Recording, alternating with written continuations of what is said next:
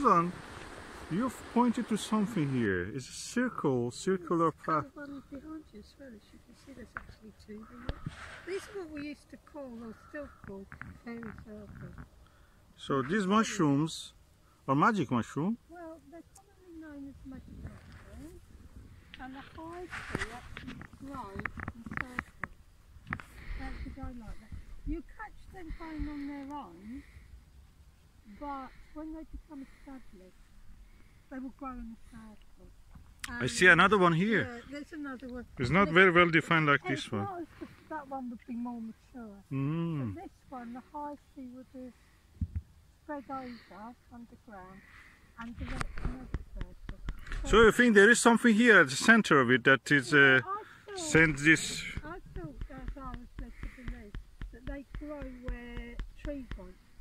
Oh, they are living on the yeah, trunk. they- Yeah, they would be living on the rotten wood and the, you know, and stuff like that.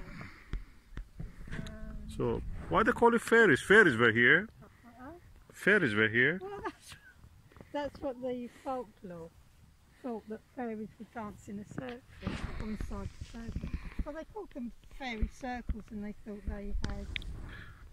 Uh, It's not because the cow was just sitting here and just chewing around No, and no, pooing no. around.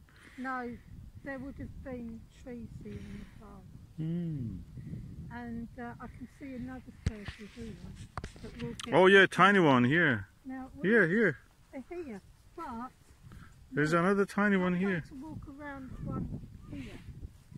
Oh, that was once there. See inside here. Oh, There's different vegetation. Yes, yes. But there is nothing at the moment. They may come any moment. But this tiny one I can see is a circle, kind of. I don't know what these are called, but had